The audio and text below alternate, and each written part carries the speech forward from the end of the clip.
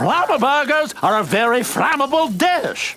If any two touch each other in any way, kablooey! No more kitchen. Sorry, Chowder. No more kitchen? Don't worry, it's only a painting. Well, it's taking too long! I bunk you! Stop that, Chowder! Kablooey! Remember? I forgot. Oh gosh. Now watch carefully. First add smetchup, now bacon meats, gunions, dandelion. Boy, I sure do love being Mung's apprentice, but he is so boring. So b- bored. So bored. Huh? What's this? Ooh.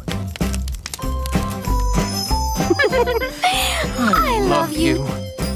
I now pronounce you husband and wife. You may kiss the Flammaburgers. Chowder, you touched them!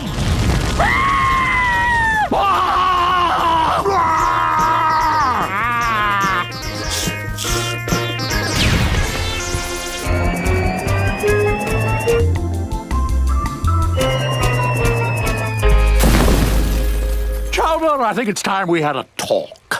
You've got to start acting like a more responsible chef. Someday I'll retire, or be killed by you, and you'll become the master, and I need to know you'll be ready when the time comes. You understand what I'm saying? Chowder?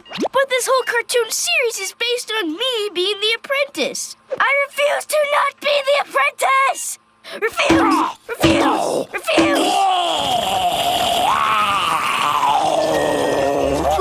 From you is my reason, Mung. And without my reason, I have no reason. Do you not see? I love you. And not just any old love. The kind of love that is needy and dysfunctional. Hey, what's that sound? Blah, blah, blah. I'm a doctor. Uh, blah, blah, blah, blah, blah.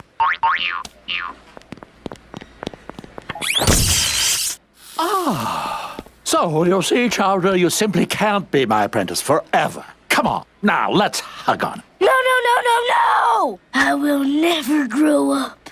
Ever.